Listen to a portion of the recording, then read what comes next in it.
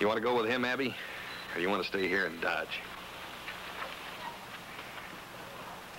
I never want to see him again as long as I live.